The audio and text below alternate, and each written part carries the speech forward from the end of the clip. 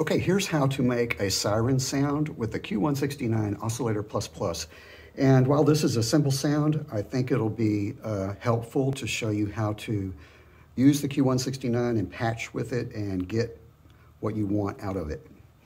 Uh, we're going to start here with our simple patch where we have our pitch driving our oscillators and also our gate driving our gate so it can trigger our envelope generator for us. And we're going to listen to the output of oscillator number two. Now notice you don't hear anything, and that's because the amplitude of oscillator two is turned down. And since we're in the middle position, the knob controls that, and we can control the amplitude. And we can listen to different waveforms. So for a siren sound, what we have is a steady sine wave or some other simple waveform. I'm not really sure what it is on a siren, but it's probably either a sine wave or a triangle wave, I would guess. And the pitch of that is modulated by another oscillator.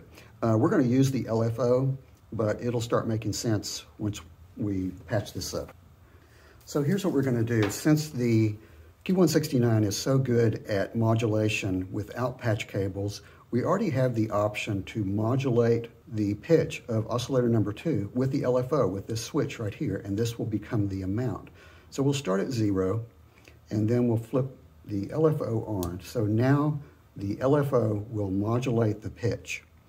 And I'm gonna turn this to envelope generator and turn that up so that when I press a key, we'll get a tone. And we're listening to triangle there just oscillator number two. So we have the LFO turned on to pitch modulate oscillator number two, but it's turned to zero, so we're not hearing it yet.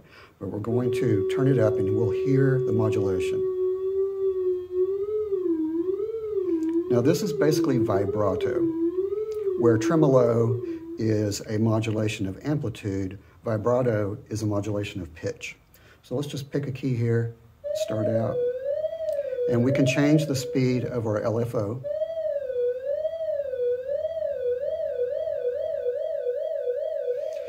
The output of the LFO is a sine wave, so I think that probably matches what the siren of a fire truck is.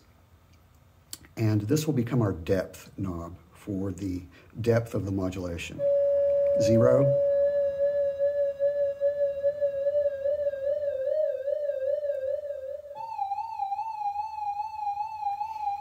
Let's try sine wave.